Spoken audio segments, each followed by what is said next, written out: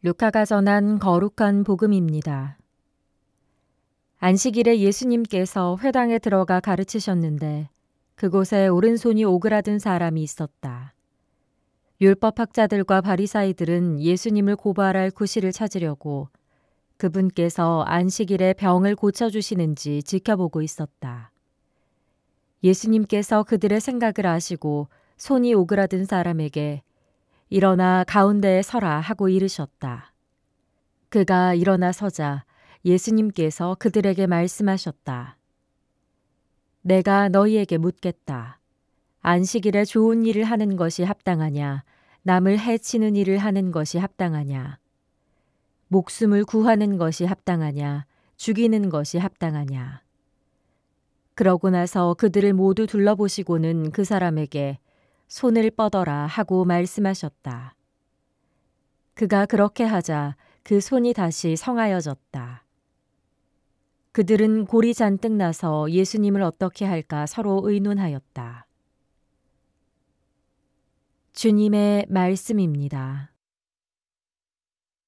참미예수님 사목구 교육지원팀 이정민 비오입니다.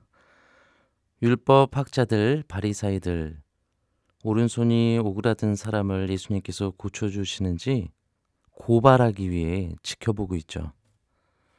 율법에 의하면 안식일에 일을 해서는 안 되기 때문입니다. 그런데 예수님께서는 감시를 이렇게 받으셨지만 오히려 그들 가운데 병자를 세워놓고 공공연하게 고쳐주셨습니다. 전 예수님의 이런 당당함, 자유로우신 모습이 참 힘이 되고 든든합니다. 약하고 가난한 이들에게 한없이 자비로우시고 따뜻하신 그분. 그래서 당신의 목숨도 돌보지 않으시고 힘들다 울고 외치는 이들에게 다 내어주시는 분의 마음을 우리는 꼭 기억하는 하루가 되었으면 좋겠습니다. 그런데 또 반대로 그분은 율법 학자들이나 바리사이들처럼 최고의 권력을 차지하는 이들에게는 오히려 단호하셨죠. 그분의 이런 당당함, 자유로움은 막 행동하는 것이 아니라 사랑으로 가득 찬 마음의 표현입니다. 먼저 하느님 아버지와 깊은 사랑의 내적, 인 일치 안에 계셨고, 이어서 사람들과도 사랑으로 함께 하시는 분이십니다. 제가 성당에서 주일학교 함께 하다 보면 부모님들과 활동을 많이 하게 돼요. 특히나 뭐 자모회 활동을 통해서 많은 어머니들하고 함께 하는데 그러다 보면 엄마라는 존재의 의미를 다시금 생각하게 됩니다. 부모님들, 특히 우리 어머니들 정말 대단하세요.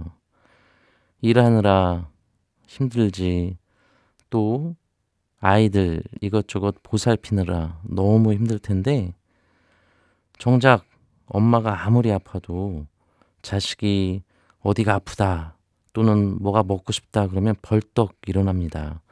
그런 모습들을 제가 많이 봤어요. 우리 엄마들 정말 대단하다 이런 생각을 하면서 저는 이미 말씀드렸던 우리 예수님의 마음과 함께 묵상합니다. 그렇습니다. 예수님이 우리 모두에게 그런 분이세요. 당신은 힘들고 또 쓰러지셔도 혹여나 다른 양들 한 마리라도 잃으실까봐 또 걱정하고 기다리시고 찾아 나서시는 분. 바로 그분이 예수님이십니다. 당시 법으로 처벌될 수도 있죠.